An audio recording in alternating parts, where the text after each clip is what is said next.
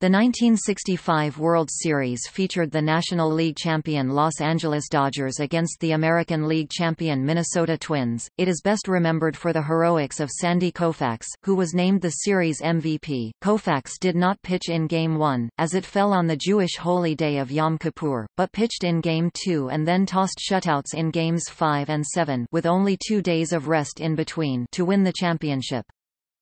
The Twins had won their first pennant since 1933 when the team was known as the Washington Senators. The Dodgers, prevailing in seven games, captured their second title in three years, and their third since moving to Los Angeles in 1958.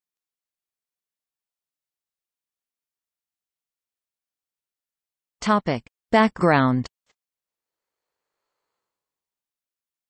Both teams improved from sixth-place finishes in 1964. The Twins won the AL pennant with relative ease while the Dodgers were locked in a season-long five-way battle in the NL among themselves, the Giants, Pirates, Reds, and Braves.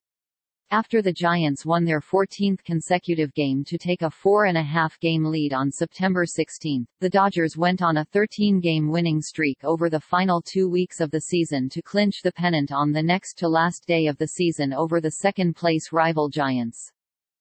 During the 1965 season, the Dodgers relied heavily on the arms of Sandy Koufax and Don Drysdale, and would rely on them even more in the World Series, as the Dodgers only used seven pitchers.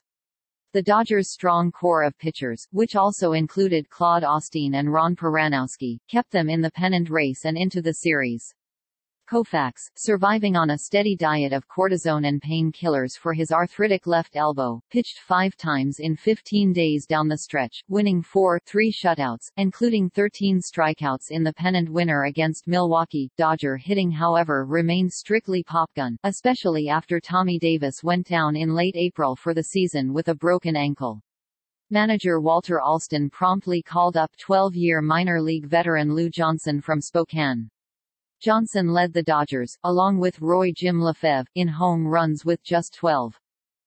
The Twins, managed by Sam Mele, had a more balanced attack, equally strong in pitching and hitting, although their defense committed 173 errors including 39 by shortstop Zoilo Versalles. Offensively Mele again had balance with good hitting, power and speed up and down his lineup that included the Als' leading hitter, Tony Oliva, at .321, and 20-plus home runs from five different players. Pitching was spearheaded by 21-game winner Mudcat Grant, Jim Kitty Kaat, and Camilo Pascual. This was only the second World Series where both teams were located west of the Mississippi River. The first occurred in 1944, when the St. Louis Browns faced their Sportsman's Park tenants, the St. Louis Cardinals. This was the first of 11 consecutive World Series that did not have the New York Yankees playing in it. It was the longest such streak until 1993, when the Toronto Blue Jays claimed the second of their back-to-back -back World Series championships by defeating the Philadelphia Phillies. It was also the first series in which both teams had had losing records the previous year. This has since been repeated two other times, both times also involving the Twins—in 1987 and 1991. This World Series was the first in which all games were played in cities that did not have National League or American League teams in 1903, the year of the first modern World Series. Also, it is the earliest World Series whose telecasts are known to survive in their entirety. The CBC has complete kinescopes of all seven games in its archives.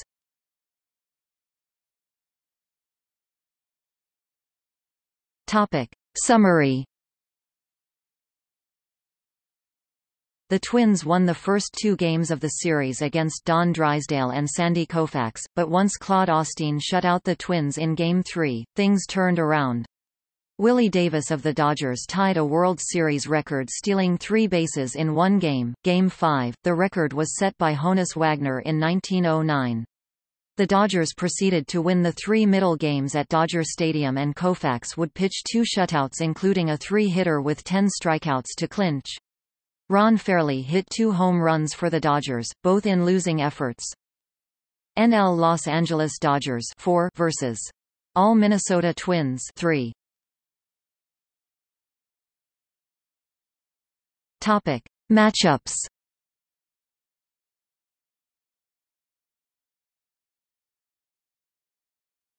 Topic. Game 1 Game 1 was set to be a pitching duel between Dodgers Don Drysdale and the Twins Mudcat Grant 21-7, 3.30 era on the year. Drysdale was starting because the game fell on Yom Kippur, the holiest day of the year for people of the Jewish faith. Dodger ace Sandy Koufax, who was Jewish, stated he would not pitch that day. In the Twins' third inning any thought of a pitcher's duel was put to rest. Going into that inning, it was 1-2-1. Coming out, it was 7-2-1. It started with a Frank Quilici double to left field, followed by an error by Jim Lefebvre, allowing the pitcher Grant to reach. Then, shortstop Zoilo Versalles stepped to the plate. He had hit 19 home runs in the regular season and would later win the AL MVP award for that year. He crushed a pitch from Drysdale for a three-run home run to make the score, 4-1. However, the Twins' scoring wasn't over. With still no one out, left fielder Sandy Valdespino began things again with a double. After a few outs and baserunners, and a single by Harmon Killebrew, the Twins had two runners again.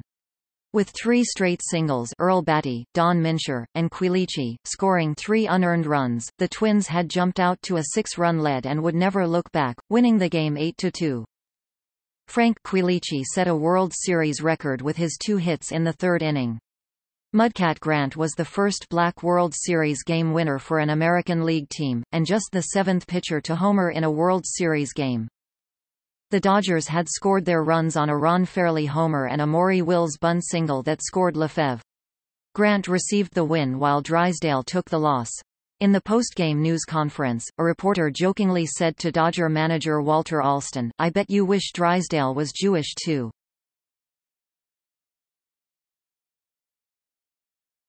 Topic. Game 2 In Game 2, the Twins this time got to Dodger ace Sandy Koufax. Minnesota's pitcher, this time Jim Kaat, again shut down the Dodgers' weak offense.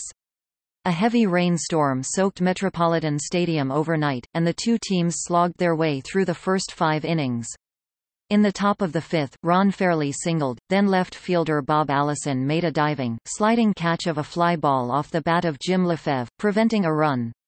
Aided by an error, the Twins broke the scoreless tie in the sixth. Versalles hit a missile shot and when Jim Gilliam bobbled the ball at third base, the ball ricocheted off Gilliam and into left field.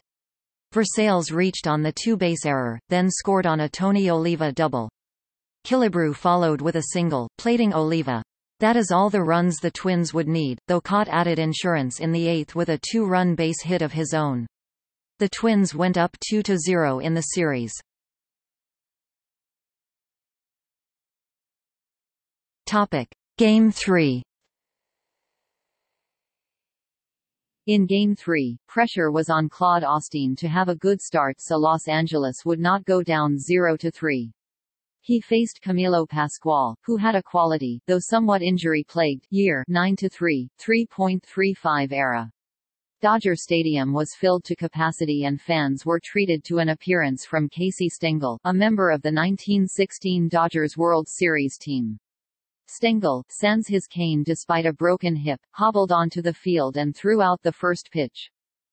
In the first inning, Versalles led off with a double. But with two men on, Versalles was caught stealing home on the front end of an attempted double steal. In the fourth, Johnny Roseboro put the Dodgers on the board with a two-run single.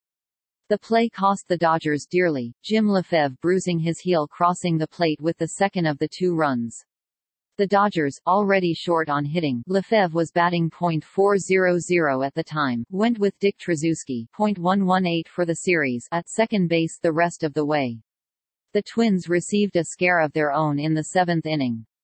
Catcher Earl Battey, chasing a pop-up, collided full speed with the railing used to cover sub-field level dugout seats next to the Twins' dugout. Battey crumpled in a heap holding his neck and was replaced by Jerry Zimmerman. Los Angeles continued to score runs on a Willie Davis single and a Lou Johnson double in the fifth, then a Wills double in the sixth. Osteen, who as a pitcher for the Senators had had a perfect 5-0 record against the Twins, completed the game by getting Zimmerman to ground into a double play. He allowed only five hits, succeeding where the Dodger aces hadn't in games 1 and 2.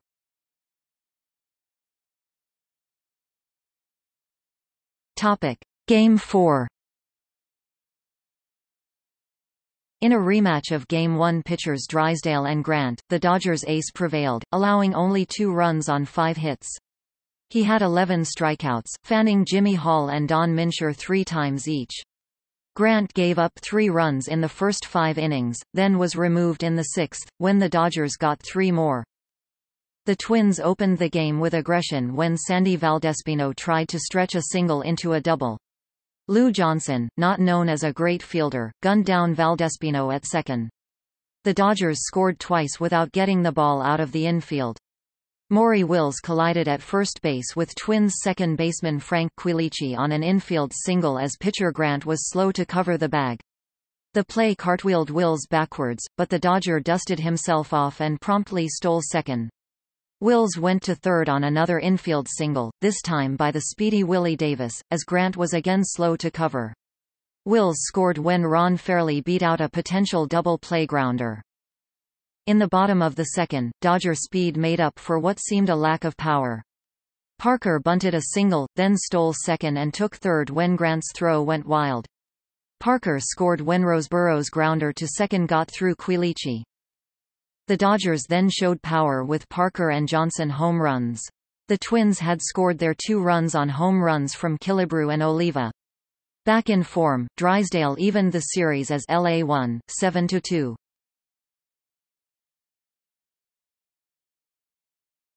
Topic: Game 5 In Game 5, the Minnesota pitcher who had done so well in Game 2, Jim Kaat, did not do as well this time, as the Dodgers won their third straight. Koufax give up only four hits and one walk, striking out 10. Kaat gave up two runs quickly in the first inning, then again in the third. Dave Boswell came in to attempt to stop the bleeding and Jim Perry did the same. Koufax basically put the game out of reach in the seventh, when he helped himself out with an RBI single to score Fairly. The Dodgers won went up 3-2 in the series. 14-year-old future Major League pitcher Craig Swan, a member of the Long Beach, California Pony League champions, threw out the first pitch. In the first inning, Dodger speed forced the Twins into fielding mishaps. Wills doubled and Gilliam singled in the run. Willie Davis bunted and third baseman Killebrew's hurried throw to first went high, enabling the streaking Davis to make it all the way to third and plating Gilliam. The Dodgers collected 14 hits and four stolen bases, while Koufax steadily kept the Twins in check for the shutout.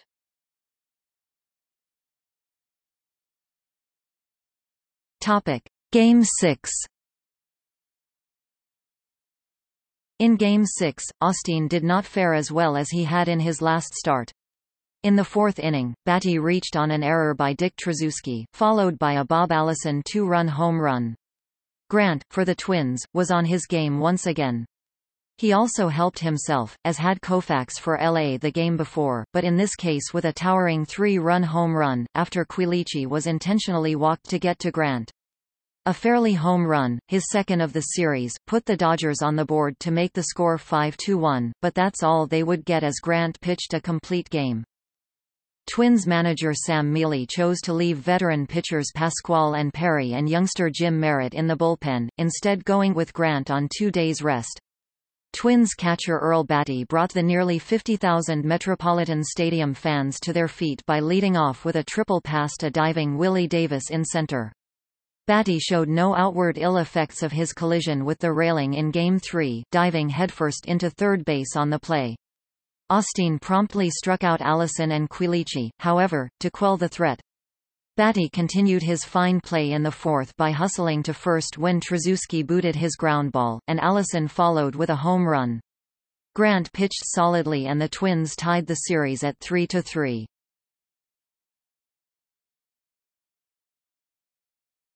Topic: Game 7. Dodger manager Walt Alston was torn between starting Drysdale on normal rest or Koufax with only two days rest. He decided on the left-handed Koufax, figuring if needed he would use the right-handed Drysdale in relief, then go back to his left-handed relief ace Ron Perranoski. Koufax told announcer Vin Scully in a post-game interview that he and Drysdale had come to the ballpark not knowing which would be on the mound.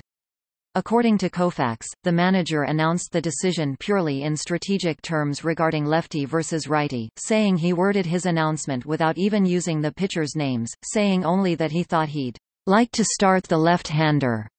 The Twins went with Kaat, also starting on two days' rest. Both managers had relief pitchers warming up as their starters began the game. Koufax had trouble throwing his curveball for strikes but escaped a couple of early jams, including one in the third inning when Zoilo Versalles stole second base with one out, but was called back after batter Joe Nossek was ruled out for interference. Koufax effectively gave up on his curveball and pitched the late innings almost exclusively with fastballs, still baffling the hard-hitting Twins. In the fourth inning, Dodger left fielder Lou Johnson told Koufax that he would get him the only run he would need. Johnson promptly hit one off the left field foul pole to give the Dodgers a 1-0 lead. Ron Fairly followed with a double and scored on a Wes Parker single. The two runs came on three consecutive pitches. Knowing Kaat was on short rest, manager Mele pulled him quickly. Al Worthington, Johnny Klippstein, Jim Merritt, and Jim Perry combined to shut out the Dodgers for the rest of the game. The Twins threatened again in the fifth inning when they had runners on first and second with only one out. Versalles hit a hard grounder down the third base line that appeared to be going for a double. This could have ended Koufax's day as Drysdale was warming up in the bullpen but third baseman Jim Gilliam who was often replaced late in games for defensive reasons made a diving, backhanded stop and stepped on third for a force. Koufax bore down and got the third out. He ended up tossing a three-hit shutout, striking out 10 in one of the greatest Game 7 pitching performances ever. Sweet Lou Johnson hit two home runs, including the game winner in the clinching Game 7. No relief pitchers were used by the winning team in any game of this series, the winning starting pitcher went the distance in all seven games. This had not happened since 1940, and has never been repeated since. The Twins' loss in Game 7 remains the only World Series game the Twins have lost at home, having later won all their home games in 1987 and 1991. Through 2017, the Twins have never won a Road World Series game not including when the franchise was the original Washington Senators. The National League won its third consecutive World Series Dodgers in 1963, St. Louis Cardinals in 1964.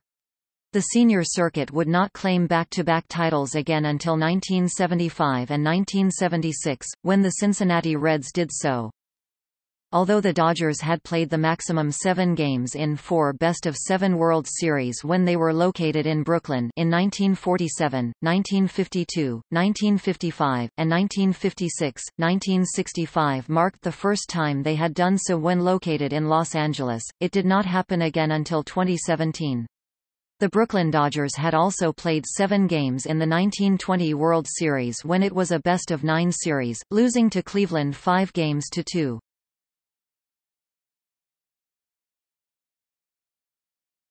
Topic: Composite box. 1965 World Series 4 to 3 Los Angeles Dodgers NL over Minnesota Twins AL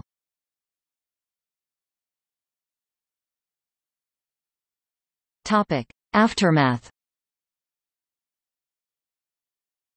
The Dodgers would return to the World Series the following year, only to be swept in four straight games by the Baltimore Orioles. The Dodgers scored twice in Game 1, but those would be only runs they would score in the entire series. Sandy Koufax retired after the series at age 30, due to chronic arthritis and bursitis in his pitching elbow. Meanwhile, the Twins would have to wait 22 more years before returning to the World Series in 1987, when they would finally win their first championship since 1924 known then as the Washington Senators, and their first since moving to Minnesota, by beating the St. Louis Cardinals in seven games. That series was the first series in which the home team won all games, a feat Sandy Koufax prevented in Game 7 of this series. Since the 1987 series, that feat has been successfully accomplished twice more in 1991 also involving the Twins, this time defeating the Atlanta Braves and 2001 in which the Arizona Diamondbacks defeated the New York Yankees.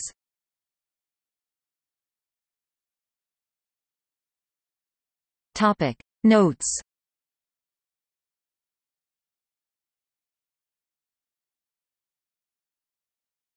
Topic. See also. 1965 Japan Series